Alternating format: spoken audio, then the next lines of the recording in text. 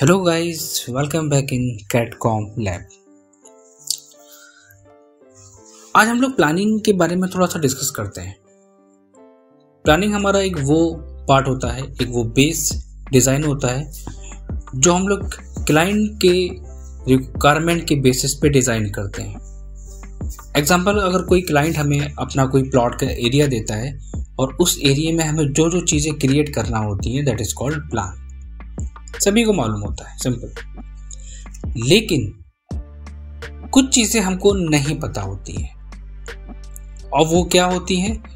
वो होती है आर्किटेक्चर डिटेल कि प्लान बनाने का एक सही तरीका क्या होता है। प्लानिंग में बहुत सारी चीज़ें हम लोगों को ऐड करना होती हैं। बहुत सारी कुछ टेक्निकल चीज़ें होती हैं, उनको हमको देखना होता है और उसी के बेसिस पे हम लोग अपने प्लान को क्रिएट करते हैं। और वो कौन कौन सी चीज़ें हैं माइंड में चल रहा होगा आप लोगों के? आगे बढ़ते हैं। हम लोगों को बेसिक तो पता है। ये चीज़ सभी को पता है कि मैं देखता क्या हूँ कि जो नॉर्मल डिप्लोमा आईटीआई या फिर बीटेक वाला बच्चा होता है, वो नॉर्मल प्लान बना लेता है। लाइन के थ्रू वॉल खींच लेगा डोर विंडो दे देगा, बस। This is the layout but अगर हम एक वर्किंग ड्राइंग की बात करें, एक टिपिकल डिटेल की बात करें, उसका थोड़ा सा मेथड चेंज हो जाता है। उस पर काम करने मतलब ये होता है कि आपको बहुत सारी डिटेल्स को मेंशन करना होता है। बहुत सारी टैगिंग टैग मेंशन करने होते हैं और कुछ स्ट्रक्चर की चीज़ें भी हमें ऐड करना होती है। तो आज हम उसी टॉपिक पे बात करते हैं कि अब हम जो बेसिक लेआउट बनाएँगे तो उसको हमें कैसे बनाना है और क्या क्या उसके सही मेथड हैं। पहली चीज़ मैं बताना चाहूँगा कि जब भी हम लोग अपना प्लान क्रिएट करते हैं तो सबसे पहले हमारा आता है क्या?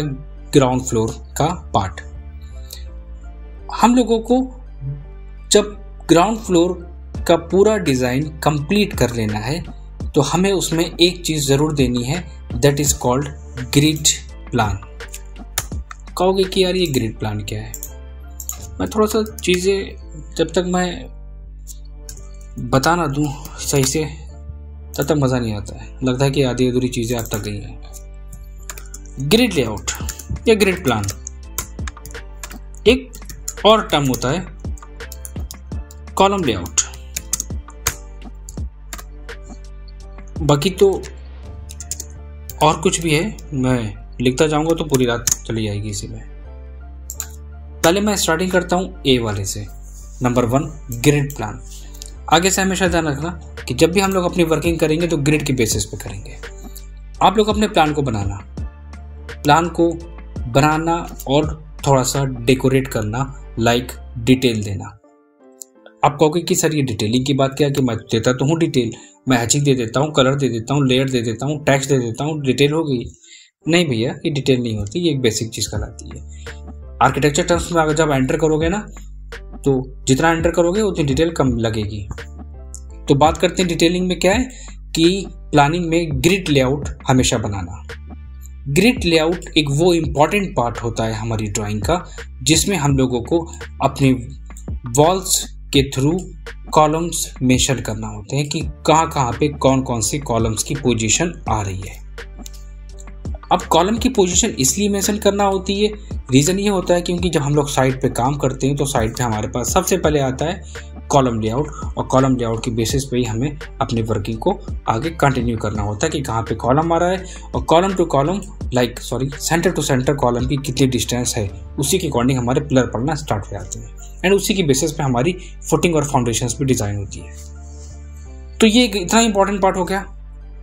कि ग्रिड प्लान कैसे बनाया जाता है? अब आगे से ध्यान रखना प्लानिंग बनाना प्लान में हमें क्या करना है? ग्रिड लेआउट बनाना है। मैंने अपनी बहुत पहले एक वीडियो अपलोड करी थी डोर की डिज़ाइन कैसे बनाने हैं अपने प्लान में। आप प्लीज़ चेक कर लेना वीडियोस में। वहाँ पे मेंशन है कि डोर को कैसे हम लोग क्या क्या डिज़ाइन देखे कर सकते हैं। तो सबसे पहले हम बात करते हैं कि किसी भी ड्राइंग को बनाने के लिए वर्किंग ड्राइंग बनाने के लिए सबसे पहले क्या करना होता है? हमारे पास एक छोटा सा बेसिक लेआउट होना चाहिए। बाकी की चीज़ें मैं यहाँ से हटा देता हूँ। इनका कोई काम नहीं है। ग्रिड प्लान में हमें करना क्या है?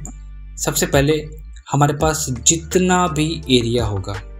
मेरे पास वॉल्स ऑलरेडी हैं। एक छोटा सा लेआउट हमारी वर्किंग का है, जिसमें मैं अभी काम कर रहा हूँ सिर्फ़ करंट में।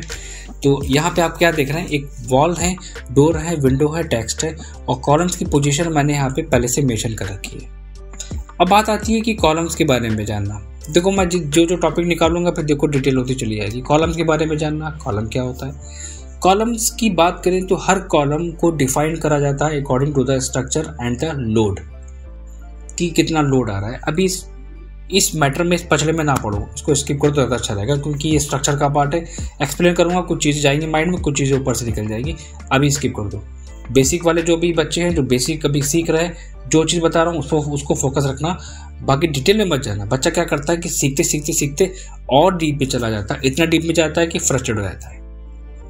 पहला पॉइंट क्या है? ग्रिड लेआउट कैसे बनाते हैं और कॉलम्स की पोजीशन कैसे देते हैं। पहले इस पर फोकस करते हैं। ठीक है? कॉलम्स की पोजीशन डिपेंड करती है स्ट्रक्चर के ऊपर। वो कोई भी हो सकती है। एक्स वाई जेड दो सौ तीस बाई दो सौ तीस, दो सौ तीस by like two fifty to eighty या थ्री हंड्रेड कुछ भी मान लो। Depends on the orientation column की ओरिएंटेशन के ऊपर डिपेंड करता है। मैंने यहाँ पे कॉलम्स प्लेस कर लिए। अब करना क्या है कि जो, जहाँ जहाँ पे आपको कॉलम्स को देना है, ठीक है?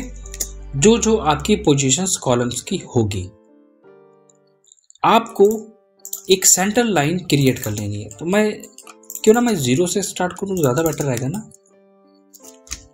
रीज़न क्या होगा कि चीज़ें थोड़ा सा क्लियर हो जाएँगी।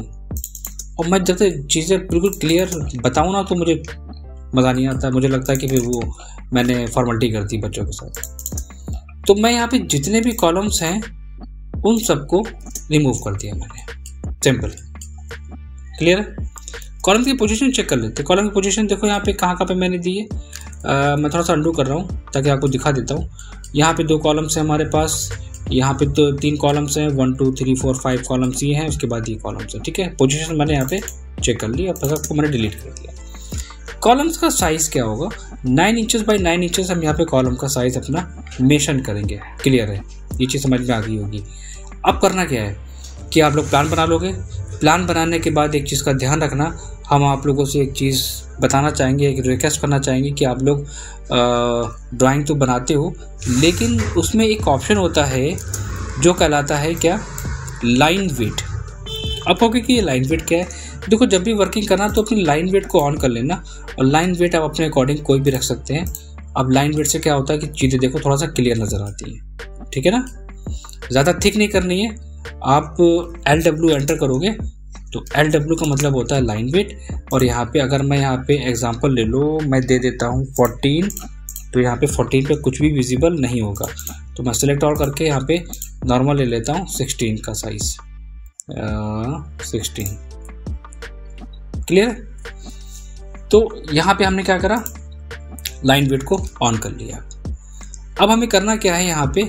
अपनी ड्राइंग में कॉलम की पोजीशन मेंशन करना है। तो सबसे पहले क्या काम है? सबसे पहले तो ये है, आप सेंटर लाइन निकालोगे। वैसे तो मैं एक काम और भी कर सकता था, मैं आपको बताना चाहूँगा। मैं यहाँ पे वीडियो को दो से तीन पार्ट में डिवाइड कर सकता था कि सेंटर लाइन क्या होता है सेंटर लाइन कैसे बनाते हैं, वो चीज़ अच्छी नहीं होती है। फिर कन्फ्यूज़न क्रिएट होती है बच्चों में। सेंटर लाइन में क्या होता है, आपकी जितनी भी वॉल होंगी, उन सारी वॉल्स का आपको सेंटर क्रिएट करना है। अब सिंपल तरीका क्या है कि एग्जांपल लो, अगर मैंने यहाँ पे रेक्टेंगल ले लिया और डी एंटर करके नाइन बाई नाइन का हमने यहाँ पे प्लेस कर दिया, ठीक है? ये एक रेक्टेंगल आ गया हमारे पास सेंटर लाइन ये निकल आएगा और कॉपी कर दो, ये ज़्यादा अच्छा रहेगा। अब कॉपी करने से बेनिफिट क्या रहेगा कि सेंटर लाइन ट्रैक करने में दिक्कत नहीं आएगी। वैसे आप क्या करोगे?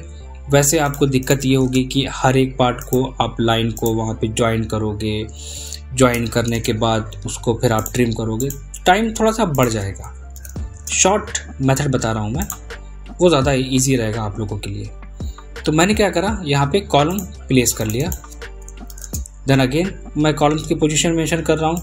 This point to this point और यहाँ पे मैं उसको प्लेस कर लेता हूँ इस पॉइंट पे। तो one two three four columns हमारी ये आ गए। सेंटर लाइन हमारी ये की आ जाएगी। ठीक है? इसके बाद हमें कहाँ पे कॉलम देना है? मैंने इसी रेक्टेंगल को कॉपी कर लिया इस वाली पोजिशन पे। ठीक है? एक पोजीशन हमारी ये आ गई। और बाकी भी मैं सेंटर लाइन निकालने के बाद भी कॉलम दे सकता हूँ। तो अभी मैं कॉलम इसलिए प्लेस कर रहा हूँ ताकि सेंटर लाइन भी हम इजीली ट्रैक कर सकें। ओके नेक्स्ट हम क्या करते हैं? फिर से कॉलम को कॉपी करेंगे और हमारे यहाँ पे इस वाली पोजीशन पे कॉलम आ जाएगा। देन अगेन हम कॉपी करेंगे इस रेक्टेंगल को और यहाँ से शिफ्ट करके हम यहाँ ले आएँगे। वन टू और एक आ जाएगा हमारा इस पोजीशन पे। देन अगेन हम नेक्स्ट बढ़ते हैं।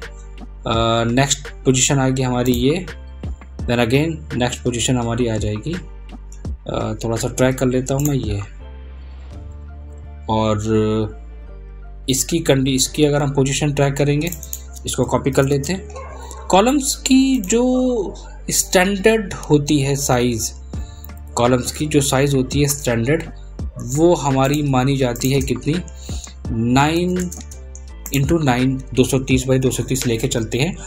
और कॉलम का जो गैप होता है मतलब एक कॉलम से दूसरे कॉलम के बीच की जो दूरी होती है standard three two five metre होती है, याद रखना ये चीज़। एक कॉलम से दूसरे कॉलम की बीच की दूरी तीन से पाँच मीटर तक रखी जाती है। ओके? और उसी के बेसिस पे कॉलम दिया जाता है।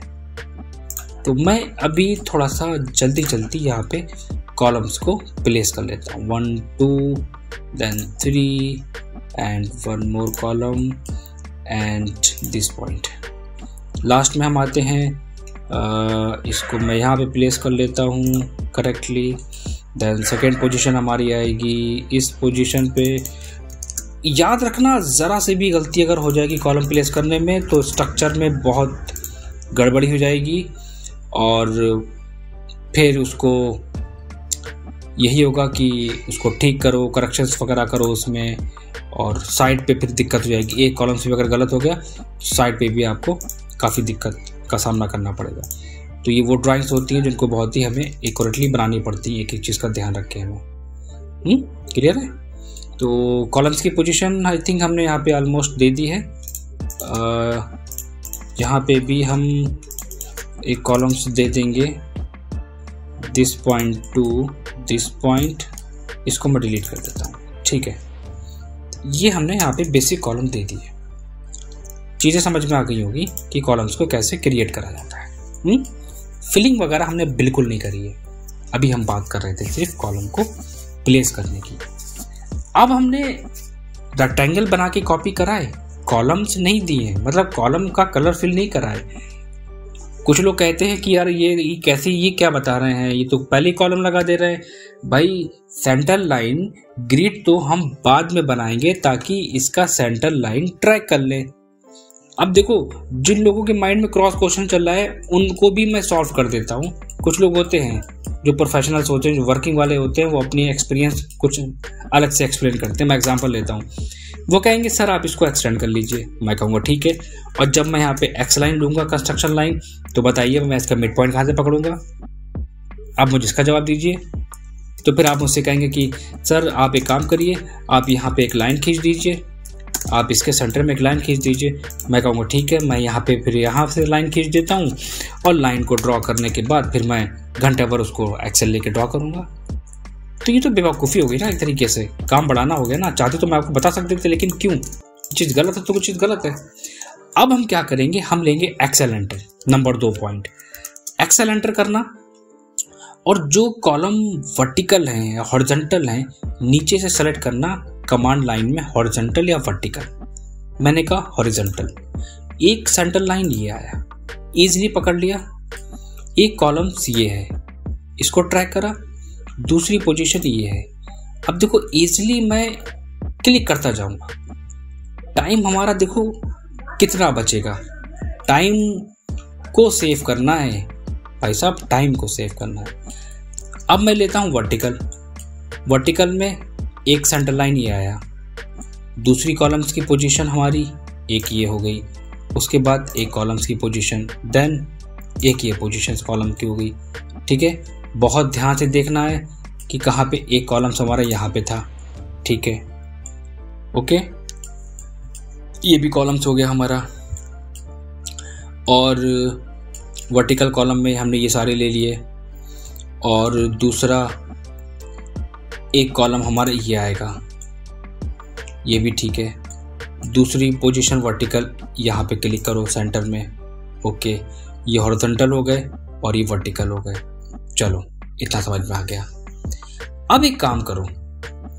आप जब किसी वर्किंग ड्राइंग को देखोगे ना, किसी भी प्रोफेशनल की तो आप जब देखोगे तो ये जो सेंटर लाइन ली गई है ना ये कुछ दूरी पे है। मतलब कि ये जो सेंटर लाइन जो ग्रिड प्लान है, वो वॉल से कुछ डिस्टेंस पे बना है। कंफ्यूज होने की ज़रूरत नहीं है, बिल्कुल भी। वो स्पेसिंग आप अपने अकॉर्डिंग मेंशन कर सकते हो। दैट्स नॉट इंपॉर्टेंट कि कितना लेनी है। ओके तो हम यहाँ पे एक काम कर सकते हैं कि ये ऐसे, इस तरह हम एक रफली आइडिया लेके एक रेक्टेंगल ड्रॉ करके हम फटाफट रेक्टेंगल के बाहर की लाइन को ट्रिम कर देंगे और रेक्टेंगल को डिलीट कर देंगे। बेनिफिट क्या मिला? एक बिल्कुल परफेक्टली हमें एक्यूरेट डायमेंशन के साथ चीज़ें मिल गई। ओके ये चीज़ तो समझ में आ गई होगी अच्छी तरह। अब जहाँ जहाँ हमारे कॉलम्स रह गए हैं, हम उन कॉलम्स को वहाँ पे प्लेस करेंगे। एक कॉलम हमारा यहाँ पे रह गया था, ठीक है? और एक कॉलम्स हमने यहाँ पे स्किप कर दिया था और मैंने कहा था, मैं उस कॉलम को बाद में मेंशन करूँगा। तो बिल्कुल इसी के वे में जाके मैं प्लेस कर लेता हूँ। इतना तो समझ में आ गया होगा हम लोगों के। नंबर दो पॉइंट हम जो ग्रिड लेते हैं, हम जो सेंटर लाइन यहाँ पे ट्राई करते हैं, उस सेंटर लाइन को अगर हम देखेंगे तो सेंटर टू लिया जाता है। और एक बात का ध्यान रखना, आप लोगों से मैं हमेशा कहता हूँ कि लेयर पे काम करना प्लीज़ लेयर पे काम करना। यार, आप लोग मेहनत नहीं करना चाहते हो, सोचते हो बस हम प्रोफेशनल बन जाए, एक मेडिसिन खा के बस। कोई भी बच्चा हो एक्स वाई जेड मेडिसिन बस वो चाहता है कि प्रोफेशनल बन जाए बस, हम वीडियो देख के यूट्यूब देख के। लेयर पे वर्क करने की हैबिट डाल दो। अभी मैंने यहाँ पे लेयर्स अपनी क्रिएट नहीं करी आपको समझाने के लिए मैंने आज यहाँ पे एग्जांपल लिया बाई लेयर पे आते हैं और यहाँ पे अदर पे आते हैं। और यहाँ पे लोड ऑप्शन मिलेगा और यहाँ पे आप अपने अकॉर्डिंग कोई भी डॉटेड लाइन ले सकते हो। मैंने कहा था सेंटर टू सेंटर टू को मैंने ओके करा ओके करा। अब सारी मैंने ग्रिड लाइन को सिलेक्ट करके वापस जाके हमने वहाँ पे सेंटर टू को ऐड करा लिया। कुछ समझ में नहीं आ रहा है। सी एच एंटर मैं एक्सप्लेन कर चुका हूँ अपने हर एक वीडियो में। सी एच एंटर करके हम यहाँ पे क्या करेंगे? Line type five okay, fifty. Increase करते चले जाओ। आई थिंक बेटर है। आ गया। अब मैं समझाने के पर्पज से इसका कलर थोड़ा सा चेंज कर देता हूँ। कलर इफ़ेक्ट ये। लग रहा है अब? ग्रिड लेआउट हमारा रेडी हो गया अब आती है बात कि हमें इसे करना है फिल कॉलम को हमें करना है फिल ताकि पता चले कि कॉलम है हमारे पास। जीडी एंटर करो। जीडी होता है कलरिंग के लिए। और अपना एक ऐसा कलर बनाओ, जो आपका ज़्यादा हाईलाइटेड ना हो। एक बात बता देता हूँ पिक पॉइंट मत लेना सेलेक्ट ऑब्जेक्ट लेना। और फटाफट जितने भी कॉलम हैं, उनको सेलेक्ट करते चले जाओ। तो क्या होगा? तो होगा ये कि जो आपके कॉलम्स हैं, वो ऑटोमेटिक उस ऑब्जेक्ट को वो फिल करता चला जाएगा। तो ये होता है एक simple method fast method working का कि इस तरह हम बाकी अगर आपको जो बेटर लगे अगर आपको लगता है कि हमसे ज़्यादा भी फास्ट अगर आपके पास कोई ट्रिक्स है देन यू कैन यूज़ इसमें कोई प्रॉब्लम नहीं है। आप अपनी आ, कोई भी वर्किंग फास्ट वर्किंग कोई भी कमांड यूज़ कर सकते हैं। उस पर कोई रूल्स रेगुलेशंस नहीं हमने ऐड करें। तो मैंने जल्दी जल्दी सारे कॉलम्स को फिल कर लिया है। और ओके कर दिया। क्लियर हो गया? सारे कॉलम्स प्रॉपर तरीके से मेंशन हो रहे हैं। ग्रिड भी हमारी प्रॉपर तरीके से आ रही है इसमें। नंबर दो पॉइंट अब हम बात करते हैं किस चीज़ की? कि कॉलम्स में लिखा होगा C one C two C three एक बात का ध्यान रखना, अगर कॉलम सेम है, मैं अभी बात बाद में करूँगा। C one C two C three कहाँ पर देते हैं? ये ऐसे नहीं कि प्लान में डाल देना सी वन सी टू बहुत समझदार बच्चे होते हैं आजकल के। C one C two C three जब हम कॉलम्स का लेआउट देंगे बिल्कुल अलग, जिसमें सिर्फ़ और सिर्फ़ कॉलम होगा, उसे कहते हैं कॉलम लेआउट हाँ अभी काम, अभी हम क्या कर रहे हैं? हम अभी वर्किंग ड्राइंग बना रहे हैं मतलब एक लेआउट बना रहे हैं, उसमें हम दे रहे हैं सेंटर लाइन और कॉलम लेकिन कॉलम का लेआउट एक कॉपी करके अलग रखेंगे। ठीक है? जितना समझाऊँगा और जितना समझाऊँगा, चीज़ें बढ़ती जाएँगी। तो बस जो जो चीज़ें एक्सप्लेन कर रहा हूँ, उनको पहले फोकस करना है। अब हमें क्या करना है? हमें इन ग्रिड को, इन बबल को ऐड करना है। एक तरीका बताता हूँ। वैसे तो चाहो मैं कॉपी पेस्ट कर सकता था यहाँ पे, लेकिन नहीं। आप क्या करना, आप एक टेक्स्ट लिखना है यहाँ पे। और उस टेक्स्ट में डाल देना ए बी सी डी कोई भी।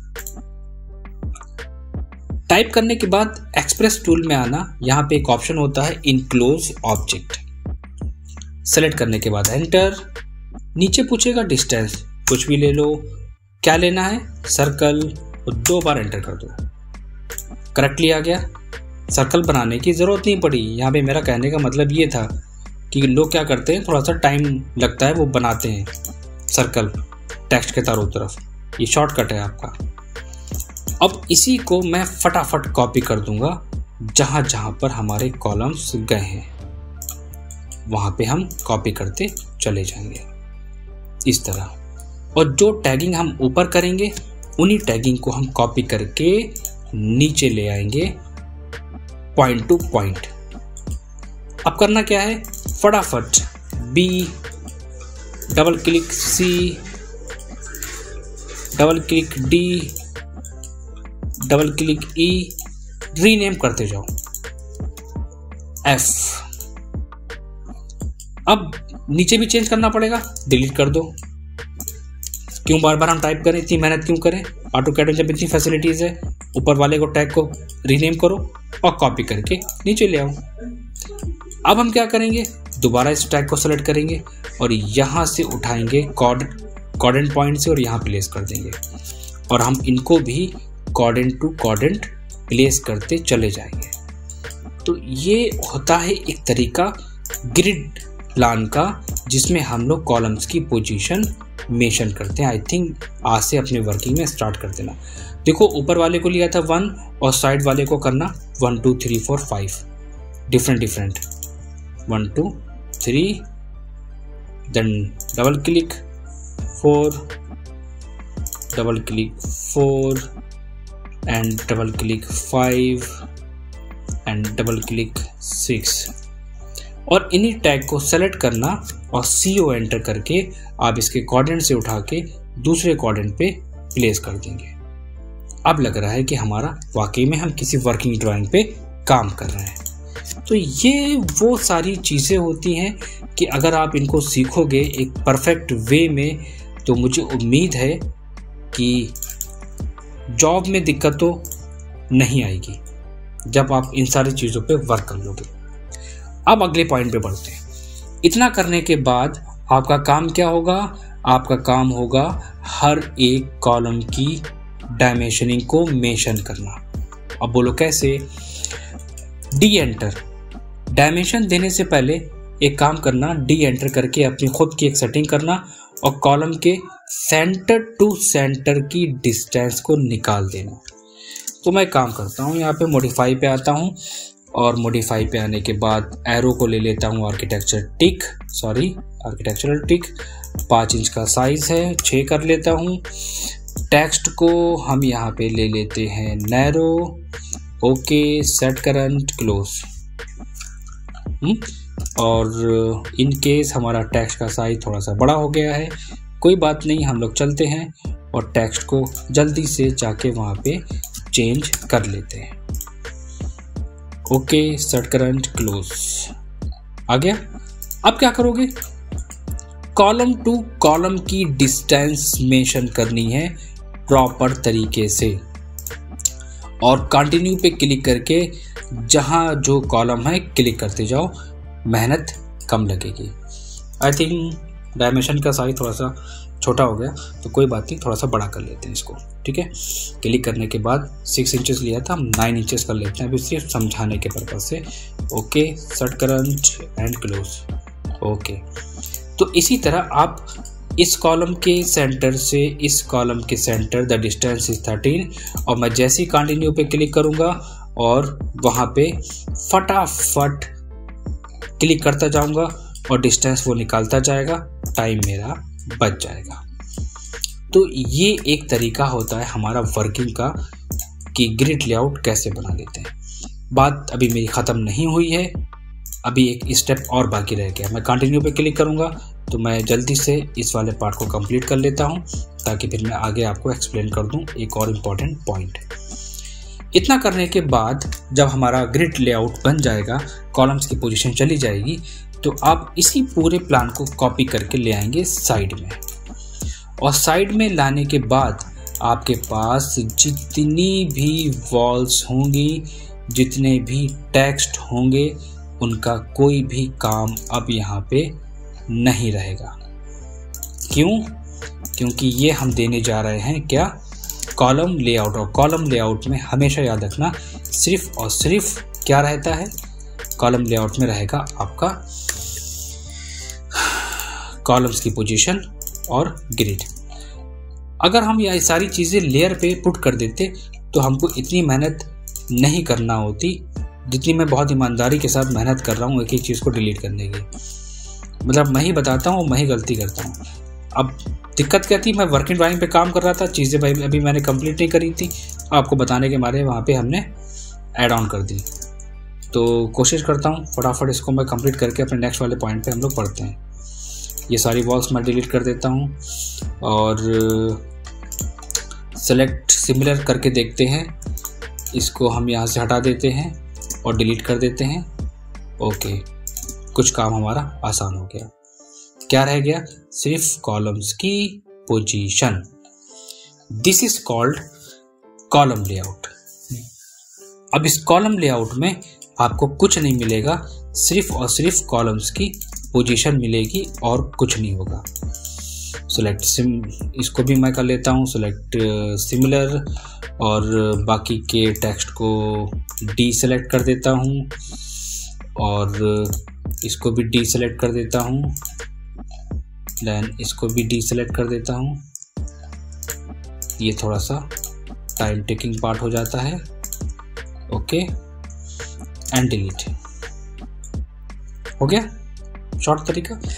अब यहाँ पे आप उसको बताओगे कि आपका कौन सा C1 है, कौन सा C2 है। आप क्या करोगे? आप यहाँ पे मेंशन करोगे C1 और जो भी है, मैं एक एग्जांपल ले रहा हूँ सी वन है सी टू है, जो भी है आपका आपका वो ऑब्जेक्ट अगर सर्कल सेम है तो आप सी वन देना। और अगर वो ऑब्जेक्ट सेम नहीं है that will be present with C two तो मैं क्या कर रहा हूँ? तो अभी सिर्फ़ आपको समझाने के लिए मैं यहाँ पर सी वन और सी टू का टैग लगा के दिखा दे रहा हूँ और अपने वर्किंग में आप अच्छे से करना इसको। C one this is also C one and C one and here like C two होगा तो यहाँ पे सी टू लाइक यहाँ पे सी थ्री तो इस तरह हमारी वर्किंग होती है। देखो, यही मेथड है आर्किटेक्चर जो आर्किटेक्ट जिस तरह काम करते हैं, और इसी को सीखना है, हमेशा याद रखना। सॉफ्टवेयर तो कहीं भी सीख लोगे, हर जगह अवेलेबल है बट वर्किंग पे ध्यान दो, सही जगह वर्किंग सीखो that is very important okay तो सी वन सी टू हो गया and last one more thing कि डायमेंशंस पे आके कॉलम्स की पोजीशन बताओ, कि भाई साहब ये कॉलम्स का साइज़ हमारा नाइन इंटू नाइन इंच होगा। अभी मैं ज़्यादा देखो टाइम लगेगा। मैं सिर्फ़ नॉर्मल बता रहा हूँ। आप डायमेंशन वगैरह एडिट कर लेना अपने अकॉर्डिंग यहाँ से नाइन बाई नाइन का मेरा कॉलम जाएगा। तो एक इसे थोड़ा सा बेसिक हमने मेथड पे काम करा था कि किस तरह हमें इसी तरह अब आप अपनी ड्राइंग में डायमेंशन के साथ साथ अपने कॉलम्स की पोजीशन को मेंशन करेंगे। सो so, एक छोटा सा पार्ट था हमारा एक आपके लिए कि हम लोग वर्किंग ड्राइंग पे काम कैसे करते हैं और ये हमने उसका एक छोटा सा पार्ट आपको यहाँ पे बना के दिखाया।